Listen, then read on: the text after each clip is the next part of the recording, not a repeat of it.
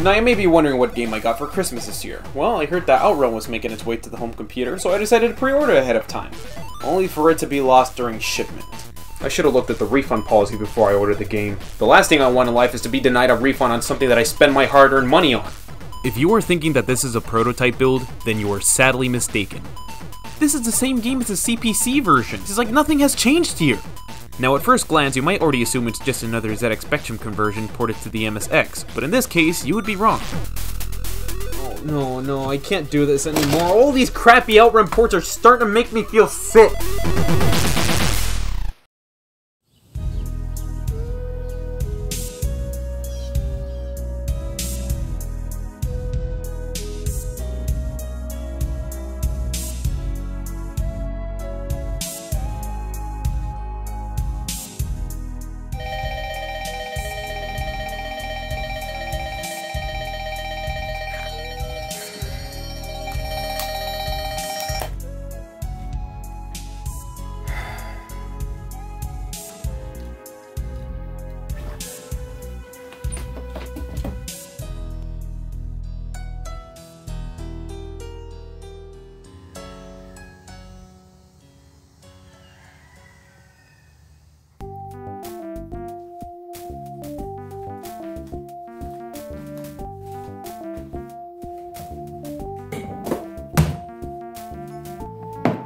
Hey, what's gone into you? Come on, speak up.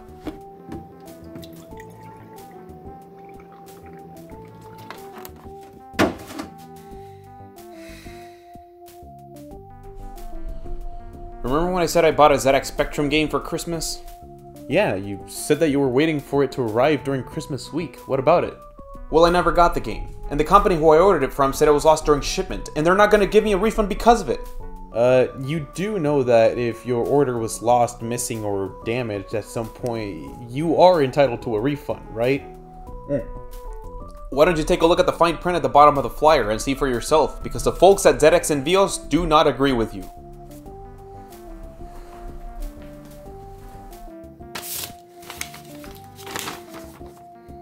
ZX Envios will not be issuing any refunds on purchased items. All sales are final. Wow, you weren't even kidding. Would you look at that? Has this ever happened to you? Speaking of the devil. Bought a port of Outrun for your 8-bit home computer and it never arrived in the mailbox. Now you're lying in bed regretting the terrible financial decision you made that day and will never be able to get your money back. Oh, boo-hoo. Well, regret no more, because if you bought a copy of Outrun for your 8-bit home computer, we will upgrade it to a 16-bit version for your Commodore Amiga or Atari ST absolutely free. This 16-bit version of Outrun includes enhanced graphics with high-quality music and improved gameplay. All this and much more. Don't wait, don't delay. Upgrade yours today, because when these copies are gone, they're gone. Here's how to order. That just gave me an idea. Hi, this is Zedd from ZX Envios, where our famous slogan is, We're not a scam, you're just jealous. How may I help you today? Hi, yeah, uh, I'm calling about an order I placed on December. You left me a voicemail saying that my order was lost during shipment. I was wondering if you had any further news about it or not.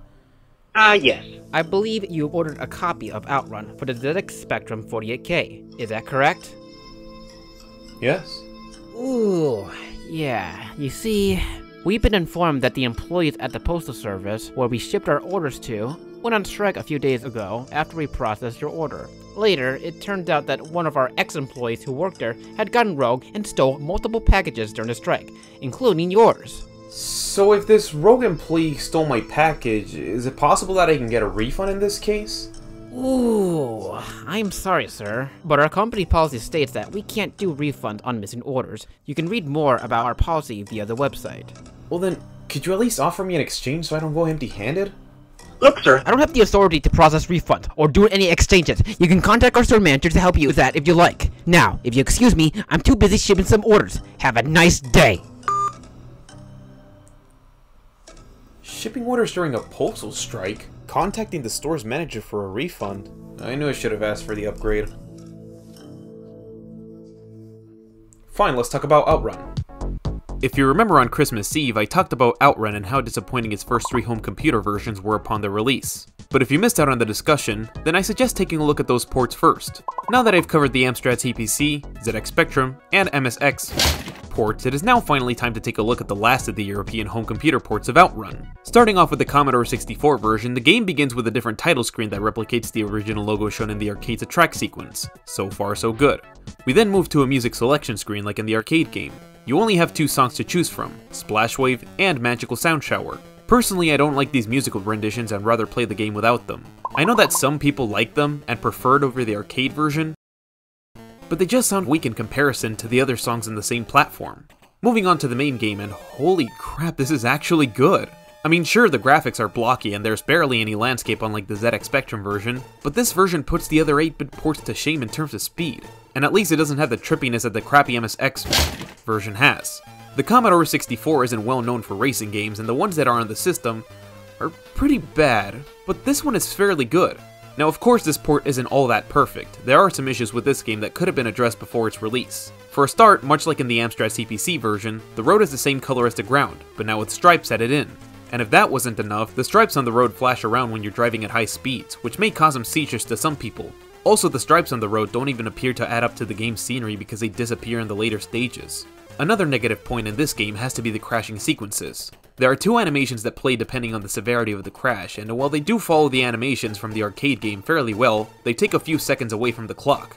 To make matters worse, the time limit in this game is so strict that sometimes you can't even get past the first stage. So if you crash into anything, no matter how light the accident was, you'd better pray that you'll be able to make it in time because this girl's gonna be wasting 4 seconds of your precious time complaining. But hey, at least she cares a little bit that if you crash, she'll pat you on the shoulder to make you feel better. There, there, buddy. We all make mistakes. Speaking of which, much like in the MSX version, every time when you crash into an object, the music restarts. I would say that this is annoying, but the fact that you have a selection of two songs to choose from, this isn't a major gripe. At least the music isn't as annoying unlike the MSX port. I've already gotten used to the trippiness by now. Unlike the other ports and the following ones we'll be discussing later, when you start the game it shows you a bland menu screen asking you to select the course to race in. So instead of driving into a fork like in the arcade version, you're now driving in a linear road. What's the point of removing the forks in this game? Outrun is all about driving around the country with a girl beside you in a Ferrari Testarossa. If you take away one of the key elements that made Outrun Outrun, then is it really considered Outrun at this point? I mean, sure, you could apply the same question about the Ferrari Testarossa being redesigned in the new releases, but those changes make sense. Well, there's a reason as to why the forks were actually cut in this version, and the story behind the development of this port is a very interesting one. In an interview with Eurogamer and Opposite Lock, programmer Martin Webb gives his side of the story about how he was able to land his first job in converting Outrun to the Commodore 64. Martin was a prolific bedroom coder at age 17, making dozens of video games for the TI-99/4A home computer. He and his father ran a small software business company called Intrigue Software, where Martin would do all the programming work and his father would do the graphics. Seeing how they were making games at a massive loss, and that the install base for the home computer was shrinking due to the ever-growing popularity of the Commodore 64 and ZX Spectrum, Martin would ditch the TI-99 in favor of the Commodore 64. Martin would spend a whole year learning how to code for the home computer until in 1987 he would finally create his first two games. A one-on-one fighter called Karate Chop, also known as Snapdragon in the UK, and a motorcycle racer in the style of Hang On, called Max Torque. After selling his first two games to publisher Bubble Bus Software, Martin would immediately create his third game as an Outrun clone. Using the same source code he made for Max Torque, Martin would replace the graphics from the previous game with a Porsche 911, as well as adding a cockpit, speedometer, and a gearshift indicator to give it that Outrun sort of feel. Once the sprites were all set, Martin and his father took the game over to US Gold, where they would plan to present it to the CEO for the first time. Around this time, the CEO of US Gold, Geoff Brown, had already signed a licensing agreement to make ports of Outrun available for the home computers, and little did he know that this licensing deal would soon pay off.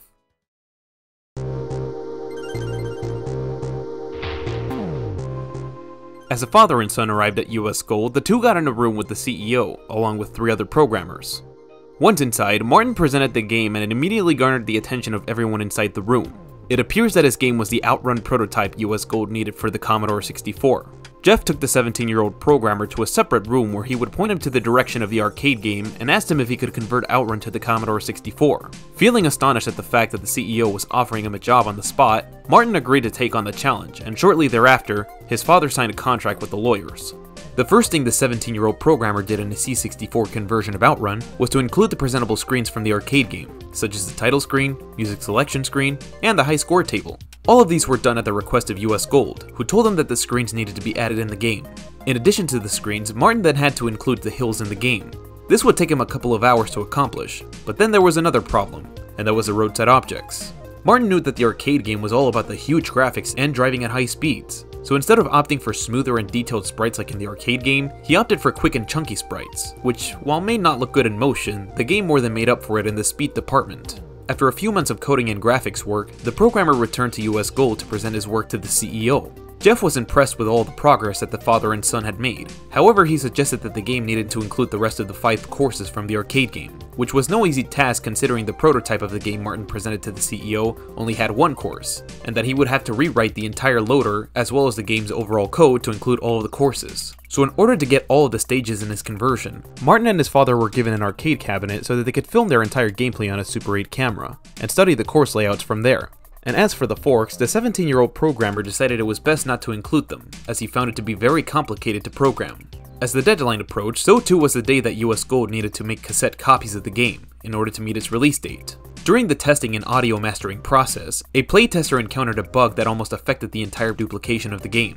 Luckily, the teenager was able to sort out the blank screen issue just in time, and the game was released to store shelves, eventually becoming one of the best selling games at the time.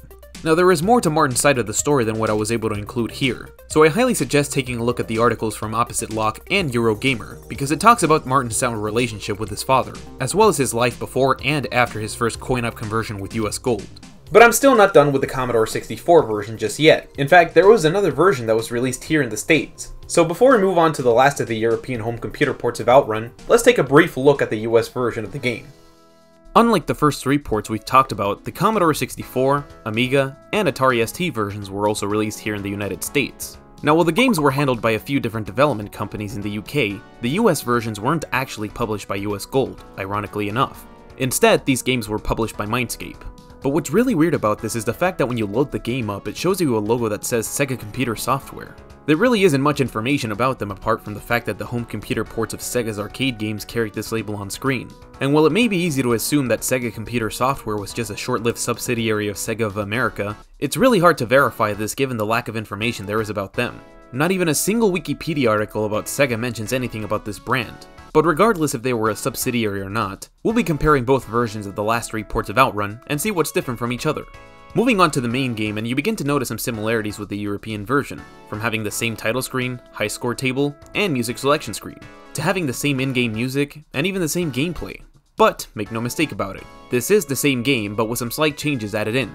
For a start, the bland course selection screen is now replaced with a course map from the arcade game, Unlike in the European version, when you run at a time, the game has you racing in the same course you selected. But not in this version. You now have the choice to select another course, or race in the same one you've chosen right from the start. So there's no need to restart the computer and load the game again in order to select another course. Another change made to this port is the clouds and vehicle sprites. As you can tell from both versions of the game, the clouds in the US version looks more detailed, as well as changing the look of the Ferrari Testarossa. As for the other car sprites, the US version includes two new vehicles, as well as removing some details on the other cars. And in case you're wondering if there's any differences in the sound department, there isn't any changes as far as music goes. There is however an inclusion of an engine sound effect, which the original version lacked.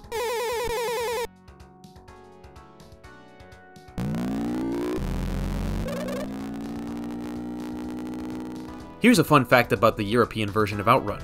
The initials on the cars are intended to be an Easter egg referring to the people involved with this port. The initials GB on both the Porsche's license plate and underneath the Ferrari are the initials of Geoff Brown, the CEO of US Gold. Speaking of which, the company's initials are also on the Jeep's license plate, funny enough. The initials MW on the back of the Jeep refers to the 17-year-old programmer, Martin Webb. The initials DW on the Ferrari's license plate are the initials of Dennis Webb, Martin's father. He was also responsible for doing the game's graphics. The initials OR on the Beetle's license plate is a reference to the game's title, Outrun. And just to throw this as an extra, the Porsche 911 in this game is actually the car sprite that Martin's father drew for the intended Outrun clone. Out of all of the 8-bit ports of Outrun we've taken a look at, the Commodore 64 port is easily the best version of the game to play, especially if you're playing with the US version. While Probe Software tried to make the Amstrad and Spectrum versions as close to the arcade game as they could on the home computers, they appear to have put more time and effort into making the graphics as appealing like in the arcade game, and less time into making it fast and fun. It's a damn shame too, because had they enough time to make them playable, these ports could have been one of the best arcade racers on the home computers. But as it stands, it's become one of the worst arcade conversions for the CPC and ZX Spectrum. The C64 version has an interesting development history to it. From coding games for the TI-99 4A and the Commodore 64, to making a clone of the arcade racer which would eventually land him in his first home conversion with US Gold and porting the actual arcade game. Martin did a respectable job with his conversion, and while he has stopped making games after porting Road Blasters to the Commodore 64, which, funny enough, uses the same source code as Outrun, Martin is currently residing with his mother in Brazil, and is still making software as of 2021. And good for him. And as for the MSX version, The least said the better. Sorry, couldn't help myself. Yeah, well, I'm gonna need to take a bath, no thanks to you. oh, I wonder why.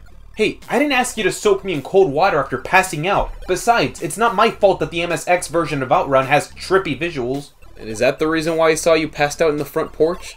That, and I was diagnosed with PTSD. And what does that mean? Post-traumatic spectrum porch disorder. Now do me a favor, will you, and mop the floor while I'm in the shower, will you? Look at the mess you made in my room! Oh, right.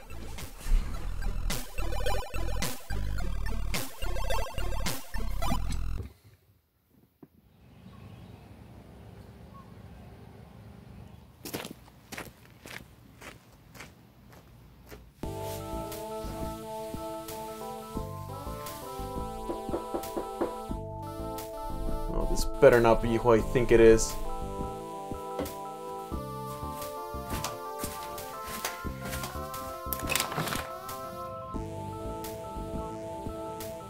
Oh, it's these people again.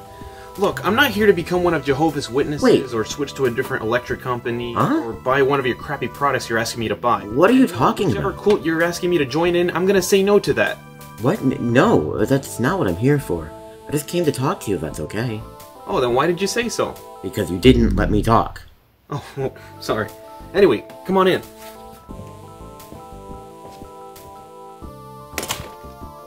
Uh, I'm a little busy mopping the floor in that room if you wouldn't mind waiting. Yeah, sure, I'll wait. Awesome, won't take long.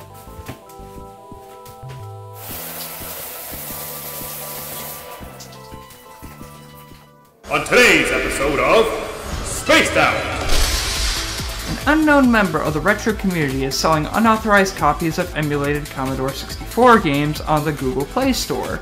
The games are being sold for 99 cents to $9 each, with hundreds of downloads from unsuspecting customers being ripped off. It'll only be a matter of time until third party companies begin to notice the unauthorized sale of their games. Jesus Christ. All this and much more on Spaced Out! I wonder what this is. Outrun. Bring the arcade experience home. Pre-order it now on. Oh no.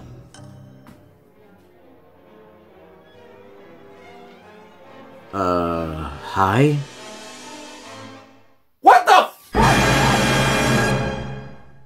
Hey, what are you screaming about? Don't you realize we have a guest in our house? I know we have a guest in our house. This is the same guest who hid in our front porch, then ran away after I tried to chase him. And dropped Evil Life and Death games in your front door, as well as shutting down the power on your house. What the hell are you doing here? Well, I let him in because he wanted to talk to us, but I was so busy mopping the floor that I I told him to wait there until I was done. I just wanted to come in to apologize for the incident that day. And to talk to you about this.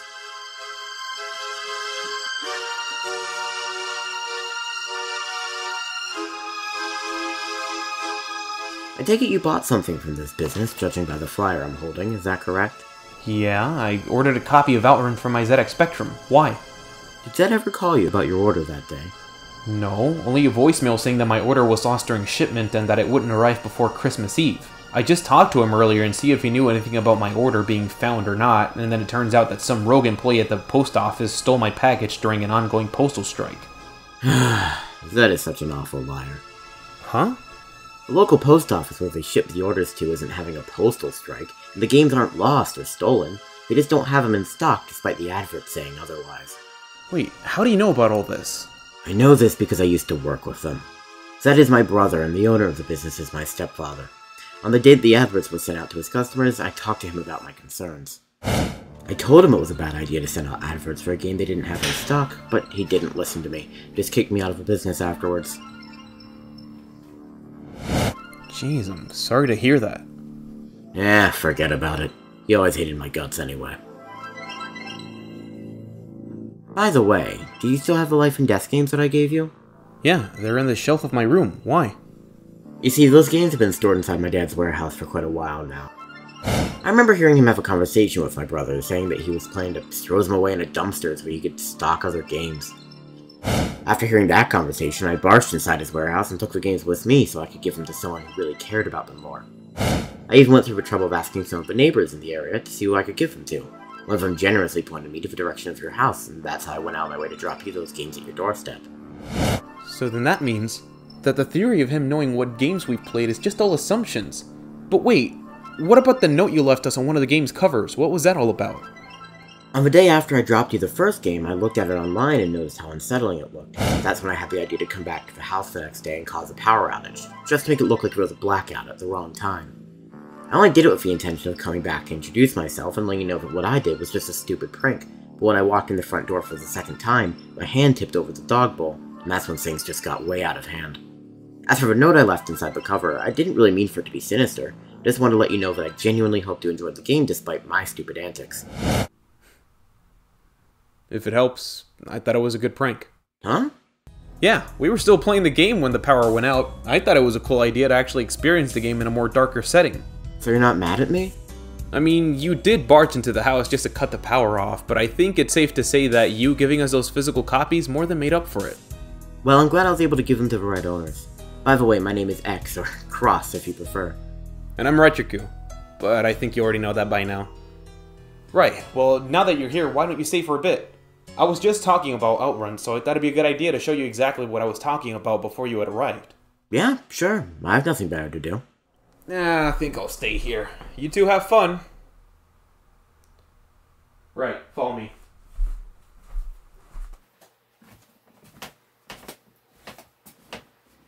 Nice room. Thanks. Oh man, is that a Zelda Game & Watch handheld on your shelf? Yeah, I bought it at a GameStop a while back in December. Do you mind if I take a look at it? Nah, go right ahead.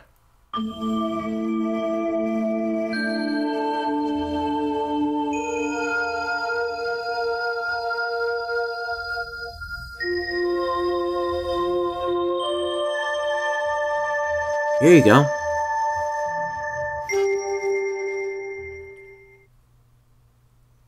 Right, uh, as I was saying.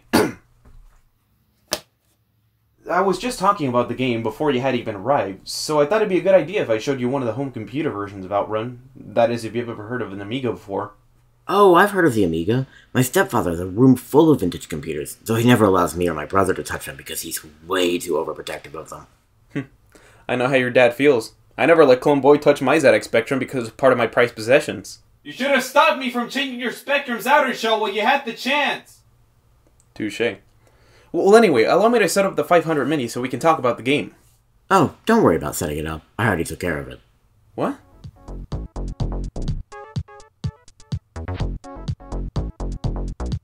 Well, I'll be damned. Right, now that we've taken a look at the 8-bit ports in depth, it is now finally time to take a look at the 16-bit ports of Outrun. Starting off with the Commodore Amiga version, and the game begins with the Sega Computer Software logo, followed by the same title screen shown on almost every version. US Gold present from Sega.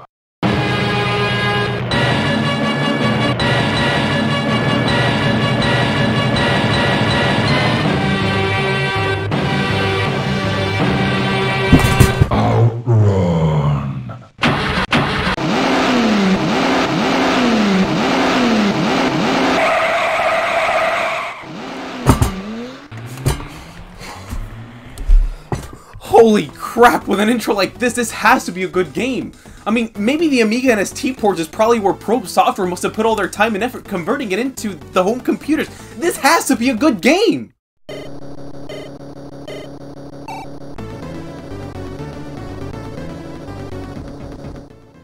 Wait, no, no, no, no, no, no, no. Th- this can't be the right game. I mean, surely this has to be a clone, or, or at least a knockoff of some sort. And if this is the official game, then boy, did I witness an embarrassing downfall. The fact that the game starts off with an over the top intro like this and then falls flat on its face when you start playing is astounding! Never have I seen a game fail so hard at trying to hype people like this in my entire life! And I have to admit, this is art. Stupid intros aside, this Commodore Amiga version appears to be the one where Probe Software put all their time and effort converting. That's not saying much. You really gotta hand it to them. They were porting this game to the Commodore Amiga, as well as the other home computer platforms while getting them done on a strict deadline. And out of all the ports they handled, this one is the more playable version. Playable. Yeah, this is rough. And despite Probe's best efforts, this is just a bad port right from the get-go. To begin with, this game takes a long ass time to start. Once the game finishes loading up, you first have to wait for the intro and in-game music to play out, and then have the game's credits box appear so you can press a key to make a selection. But how do you make a selection in this game? A simple menu screen? Nope, you make a selection by using this toolbar interface. Oh, and just look at how wonderful the menu items in the game option blend in with the credits box. It's like there are more options to choose from until you begin to notice that the highlighter stops at many cars when you move your cursor down below the screen. Why not make the credits box or the toolbar interface a separate color so that it doesn't blend in with each other? Or better yet, why not make a decent menu screen instead of putting this stupid toolbar on the title screen? I wouldn't have minded if the toolbar was present on screen while I'm pausing the game, but when I'm on the fucking title screen, why is there a toolbar here? Anyway, inside the toolbar gives you four menu items to open and select, such as Outrun, Tune, Game, and Control. Opening Outrun will allow you to take a look at the credits box once you've selected Show Info. Selecting it again will invert the color of the text box to white. Opening Tune will give you the choice to select one of the three songs from the arcade game soundtrack, as well as the option to toggle the music or sound effects. So instead of having a separate screen to select the song like in the arcade version, you now have to select the song in the toolbar menu. Opening Game will give you the option to start a new game, continue from a pause game, cue the attract sequence, view the high score table, or change the difficulty. Opening Control will give you the option to play the game either with the mouse or the joystick. Well, now that I'm all set up, how about we select the song from the tune option before we begin our game? You know what the Outrunners say, it's not an Outrun game without the iconic Magical Sound Shower song. After playing all these crappy Outrun ports, I'm not even surprised they got the simplest of title songs wrong. Okay, before we talk about the musical renditions, I suggest you familiarize yourself with the arcade game soundtrack in case you haven't heard it before. That being said, let's talk about the music. On almost every single home computer version of Outrun, not counting the Atari ST version, the musical renditions were all done by Jason Brooke. For the most part, the renditions on the 8-bit ports are okay, they get the job done and are serviceable. The music on the Amiga version, however, is a mess. It's bland, and it really doesn't make good use of the polished sound chip. And if you were paying attention to the previous ports, almost every home computer port either has one or two of the three songs from the arcade game soundtrack, with Passing Breeze being the third and only song cut from almost every version. Why did the other ports not include the third song? Was it due to time constraints, memory restrictions, or was it too difficult to make a proper 8-bit rendition of the song? Well, I don't know about you, but the US version of the Atari ST port of Outrun included all the three songs on its 8-bit sound chip, and unfortunately I can't take a look at that version of the game because Freddy's graphics were too damn hot for this game, it crashed my emulator when I started playing it. But I digress. Back to the music. To begin with, Jason Brooke's rendition of Magical Sound Shower is all over the place. The 3 5 Tresillo pattern at the beginning of the song is way off, it is so off that a Japanese outrunner who has listened to the track on the MSX port questioned the pattern of the song. And in case you don't know what a tresillo is, it's a rhythmic pattern that is most commonly used in Latino music. Here's how the 3 5 tresillo pattern is supposed to sound like.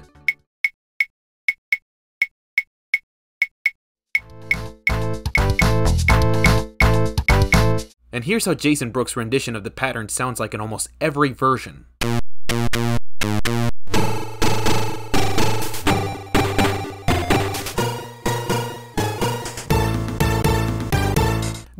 Freaking crazy! How can you mess up a rhythmic pattern as simple as a 3 5 tresillo pattern? It's like the composer was given the chance to listen to the song only once, forgot how it sounded, and had to make a lucky guess as to how the song actually played. I swear the next time I hear a song that includes the tresillo pattern, I'm gonna be imagining how it would sound like a la Jason Brooke. If you thought that the problems would stop there, well think again. Remember that amazing steel drum solo that plays later in the song? Well, it's not present in this version. Instead, the music repeats itself from the beginning, and then again but pitched slightly up.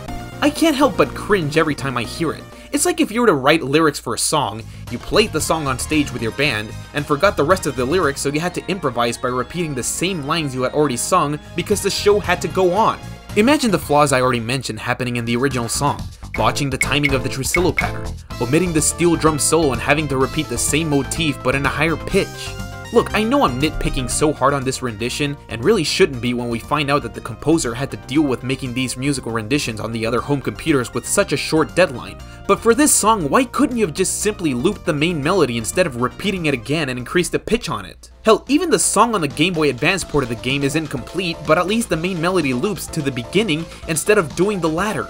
But what about the last two songs? Are they as bad as Magical Sound Shower? Well, no. Passing Breeze only repeats the main melody as it's the only part of the song that is fully recreated, and as for Splash Wave, it is pitched up from the original, but it is fully recreated. Frankly, I don't like the way how it plays because it kinda sounds like it came from a softcore porn game, but apart from that, the last two renditions are okay. What's not okay, however, is the fact that only two songs from the arcade soundtrack are mistitled in this version. If you were to play the game for the first time and wanted to select Magical Sound Shower as your first song of choice, you'd have to click on Passing Breeze. And if you wanted to select Passing Breeze as your next song of choice, well, you get the idea. But enough rambling about the music. Let's talk about the gameplay. When you start the game, it begins in a similar fashion to the arcade version, but the way how the game begins is really awkward. You see, instead of having the Ferrari drift in a 90 degree angle right into the starting line, the car and the start banner stay still and slide right next to the track marshal. And as you can already tell, there are no spectators on the sides of the road where they should be. So if you don't touch the joystick when you're supposed to be driving, you can make the track marshal wave the flag endlessly until the timer runs out. And once the timer runs out, your empty score has made it to the high score table. Isn't that amazing? Does it not surprise you? Somebody at Probe Software thought it was a good idea to make a collection of zeros a high score. Hey, at least having a collection of zeros as your high score is better than having your high score wiped out, all because the plug and play system that I played as a kid didn't have a way to save my high score. Thanks, Polaroid! I still can't get over that fucking shit! Anyway, moving on to the game and... What? What is that? What am I listening to? Are those actually the car sound effects? Could they have chosen a more obnoxious library of sound effects for the card? Dear God, this is awful. Good lord, if you thought having little to no music and sound effects in the Amstrad CPC port was bad enough, well here you have the Amiga version with its obnoxious sound effects. Oh, the sound effects are just terrible to hear. Even when you turn them off while the music is playing, does it still cue the crashing sound effect? And even worse, if you have the song Passing Breeze, uh, I mean Magical Sound Shower, playing in the background and crash into an object, the music will restart. I'm beginning to notice a pattern with all these ports and it's getting really annoying. But what about the gameplay you might be asking? Completely broken. Let's start with the frame rate. Look at it. It's really choppy and runs at about 7 to 10 frames per second, and when there's nothing on the sides of the road, it can actually peak at around 12 frames per second. That's freaking embarrassing! The Commodore Amiga is a machine that's capable of offering a more decent arcade racer than what we're seeing in this poor excuse of a racing game, and it has the same CPU that both the arcade game and the Sega Genesis have. There are far better examples of good racing games on the Commodore Amiga, such as Jaguar XJ220 and the Lotus series of games. These are four great racing games that are often held on with high regards from Amiga users, and rightfully so. They have nice graphics, good gameplay, and a very smooth frame rate. If we were to put Outrun with the aforementioned games side by side, there's no way you'd have thought this was on the same platform, but it really is. But let's say you're not bothered by the frame rate as much. What other gameplay element has been affected in this game that we need to worry about? Well, how about the collision detection? I spent minutes upon minutes playing this game thinking that all the crashes I made were simply my fault, but no, somehow the collision detection is all over the place. At some point in the game, you'll actually crash into a car when it's clear you were steering away from them. And sometimes when you do end up crashing into a vehicle, it doesn't even want to register as a collision. And when it does register, your car will spin around making you lose half your speed or even the entirety of it. To make matters worse, you'll actually end up crashing into nothing and not know why. Take this for example. I was trying to drive away from the field of flowers after driving into them, when all of a sudden the car flipped. I have no clue what hit me there or why it did that, but whatever it was, it must have been some sort of sprite that the game couldn't show in time. If you thought crashing into non-existing obstacles was bad enough, how about crashing into non-hazardous obstacles? You know how there's a divided highway at the beginning of stage 1? Well in between them are trees and traffic cones. If you were to drive into the other side of the road by passing through the cones, your car will flip, making you lose your precious time in the process. At that point, you'd be better off resetting the game, because just like in every port we've covered up till now, the time limit is too damn strict, making it difficult to beat the game. Look, I know the original arcade game has a stricter time limit as well, but it was done as a way to motivate the player into giving it another shot so they can get better at it, while also taking away their coins during each play. This is an arcade conversion made for the home computers at the time. The least the programmers could have done was to cut us some slack and give us a few more extra seconds on the clock so we can beat the game, because it's only a matter of pot luck if you're even able to complete all the courses without crashing. And believe me, you'll be crashing a lot. And for an added bit of irritation, the AI cars tend to have an obnoxious habit driving right into you for no apparent reason. Sure, the cars in the arcade game are meant to move from one lane to another from time to time, but never have I encountered a car drive right into me like what we're seeing in this Amiga port. In fact, if a car notices you're getting close to them from behind, they actually get out of your way so you can get past them. It's also worth noting that the game has two difficulty settings in the menu bar, but as far as I can tell, they don't change anything. I assume it's meant to increase the performance in the game so you can play it better, but then again, the frame rate is still choppy regardless of which option you choose. And while we're at it, let's talk about the controls. You only have two devices to play this game with, a mouse or a joystick. For joystick controls, pushing up will make your car accelerate, pulling back will brake, turning left or right will make your car steer, and the joystick button will make you shift gears. Now in the home computers, this type of control method is commonly used in racing games. Personally, I've had no issues with the joystick controls as I was led to believe. You see, one of the major complaints I've often heard was that when there are corners ahead, you have to pull back on the joystick so you can slow down and avoid crashing into the roadside objects. The way how I've learned how to make turns while also maintaining speed is to repeatedly shift the gears while driving on the corners. Once you do that, you're less likely to crash. At least you're not to have a hard time trying to center your car with the joystick, because boy oh boy are the mouse controls way too sensitive. When you start the game with the mouse control selected, you'll notice that your car will turn to the direction the game tells you the mouse is going. And when your car starts taking off, it'll dart to that direction unless you're quick enough to avoid crashing into any of the roadside objects by centering the car. But once you've already done that, you still have to get used to the overly sensitive controls. There's no indication of where your mouse is pointing at, so you have to try your very best to know when the car is actually centered by simply looking at the car sprite. How hard could it have been to at least put a small steering bar graphic with a sliding cursor on the bottom of the screen so we can tell when we have centered the car, and when we are turning? Even WEC Le Mans on the Amstrad CPC and ZX Spectrum had a steering bar graphic, yet the only control options you had was either the keyboard or the joystick. Sure, it really doesn't serve much of a purpose, but it's still there for decoration anyway.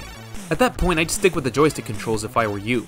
But enough rambling about the controls, and let's shift our focus into the graphics. Well, the graphics in this game are okay, they're not really that impressive to look at when compared to the arcade game's graphics. But given the limited amount of time the graphic designers had, it, it could have been worse. Until it gets worse. I'm pretty sure most of the European folks who have played this Amiga port already know how it looks like, but what most might have missed out on are the smaller details the graphic designers left out in the game. Let's say you're on a corner, and that corner's direction is on the right. If you were to turn your car to that direction, you'll notice that the driver is now on the right side and the passenger is on the left. The fact that this was left out in the game really bothers me. You might think that the graphic designers let that mistake slip through the cracks on accident, but no! This is also present in the crashing animations! Did the graphic designers want to have the driver sit on the right side of the car, much like how people in the UK and Japan drive their cars on that side? Who the hell knows? Well, I know one thing's for sure, there's a lack of continuity in the character's clothing! The color of the female passenger's top and skirt change colors during the crashing and ending sequences, and the Ferrari driver wears a purple shirt at the ending of the game as well. I don't understand the reasoning behind this. How could the graphic designers forget what color their clothes are? Did they even play the arcade game, let alone use the character sprites as a reference? I swear they didn't even bother with the landscape at all either. Just take a look at the river on the side of the road. It appears and disappears all of a sudden, and when you drive right into it, there are no water splashes on the tires. Oh, and while we're at it, great job flipping the arrow sign sprite so that they point in the direction of the corner. That way, when we look at it up close, we realize that the text is also flipped backwards. These graphic designers were either too lazy or in such a hurry that they didn't even bother to fix these small issues. The more you look into it, the more you question the decisions behind them. So after a whole lot of discussion about how this game is flawed right from the get-go, I decided it was time to get serious and finish as many courses as I could. But, just when I thought I'd seen everything this port has to offer, I find new problems along the way. It's just the gift that keeps on giving. Well, these ports were released on December 1988, so what did I expect? Well, there's one thing I wasn't expecting to see again, and it's the teleporting cars from the Amstrad port. I already mentioned that the cars have the ability to teleport away from the road and then spawn right in front of you for no apparent reason. But in this version, the cars just teleport to the side of the screen when they're at a distance. If I could think of a good reason as to why this is happening, it may be because when the drop distance is very short, the road tends to warp around and the cars just glitch about if they ever spawn at a distance. This I did notice in the Amstrad version, and I have to assume that this is some sort of road engine that Probe Software made specifically for this game, and it just really isn't well optimized for any of its ports they developed. I'm not a programmer or anything of that caliber, I'm just a former Goat enthusiast, so take that with a grain of salt as you will. As far as the courses go, they are based off of the overseas version of the arcade game, but the overall scenery in these stages just barely resemble the original designs. In fact, if we were to compare some of the stages side by side, you'll notice how cut down or simplified they are from each other. Even the branching pathways are cut down in this version. Instead of having forks like in the arcade game, you now have a divided highway to drive into until the corner ahead appears out of nowhere and gets you to the next stage. But before you can even get to the next stage, you have to wait at least 8 to 17 seconds for the next stage to load. And once it finishes loading, it jump cuts to the next course. Even when you're playing the same courses again, does it still do that weird jump cut? I'm not gonna lie, it's weird without the loading. It's weird wasteful loading. What's even more embarrassing is that the previous 8-bit ports had the forks. Yeah, it might have those weird cuts on the sides of the road, and the cars have the tendency to teleport right in front of you for no apparent reason, but the forks are still there. If anything, this Amiga port is a complete step back in gameplay enhancements. But if you thought that the change in the branching pathways and the jump cut transitions to the next courses are one of the weirdest parts in the game, how about copying and pasting one stage over another? Remember when I compared the Amiga's courses with the arcades? If you were paying close attention to courses 5A and 5D from the Amiga version, you may have noticed how similar the layouts are. Indeed, this is a case where the programmers at Probe were so lazy that they copied Course 5D's layout and pasted it over to Course 5A. How sad. Well, I know one thing that isn't sad. I'm almost done with this game, look! Oh yeah, isn't this the part where it usually shows a cutscene of your victory? Yep, it is also the part where the car drives itself to the finishing line. Are you sure the Ferrari is supposed to drive itself? Yeah, it's supposed to do that like in the arcade version, unless... Oh no, no, no, I ran out of time before I could get to the finishing line! And you know what? It's not like I was missing the ending at this point. I finished three courses, and the endings are all the same. I've lost all hope here. All these ports just straight up suck. Could the US version be at least any better than this European version? No, it's literally the same as the European version. It might have a slightly less choppy frame rate and some slight changes in the graphics, but everything's still the same. Even the embarrassing intro remains untouched, except for the part where it replaces US Gold's name with Sega Computer Softwares. Sega Computer Software presents. I don't see any reason why you should be playing this version if it looks, plays, and sounds the same overall. Not to mention that the official Sega versions overshadow them all. Wait, What? that weird color bar up top is now gone. Haven't you noticed that? Oh, uh, yeah. Do you know why they put that there? Ah.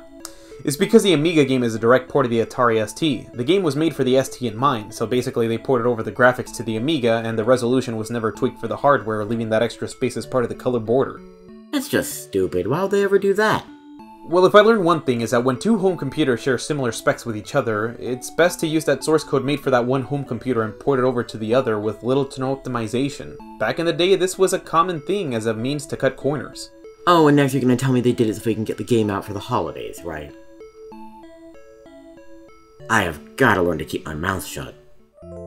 After playing all these ports, I've come to my own conclusions that all of them just straight up suck. Well, except for the Commodore 64 version, that one was just fine.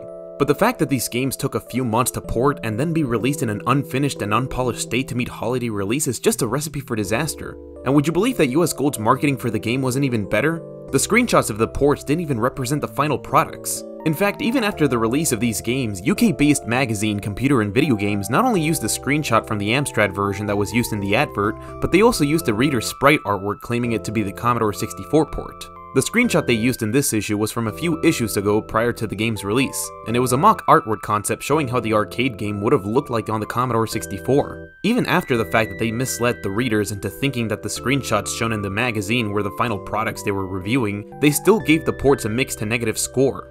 As a Gen Z gamer from the US, I can't really say as to how the public reception of this game went at the time, apart from the magazine and online reviews. But judging from the ports themselves, I have to assume it was more of a disappointment than anything else. It must have been quite a disappointment for European gamers that US Gold bundled in a cassette tape of the arcade game soundtrack in an effort to compensate the player for buying a copy of their own game.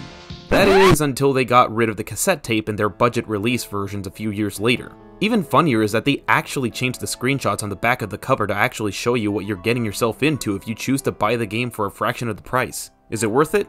No, even a pound feels a little too generous.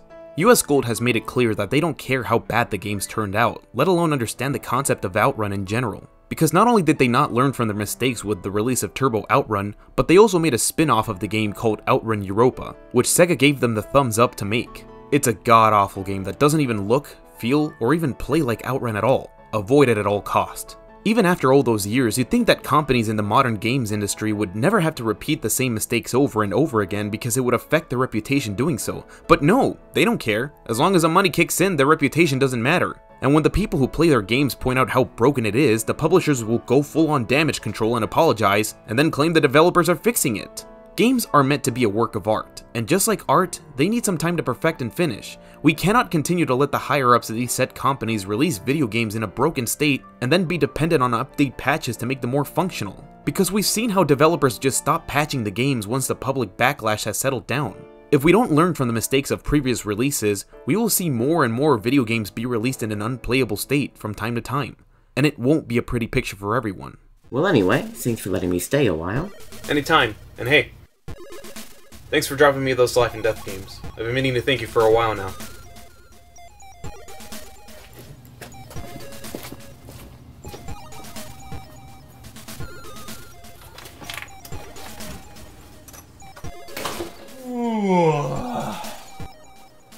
Mm.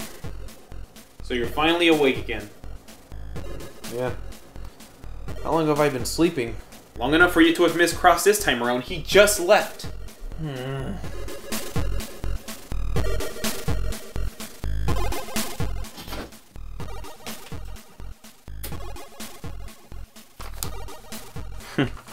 Must be one of Clone Boy's friends, I bet. What is this? Know that my father isn't going to give you your money back, so consider this as a refund from me, personally. Until we meet again, Cross.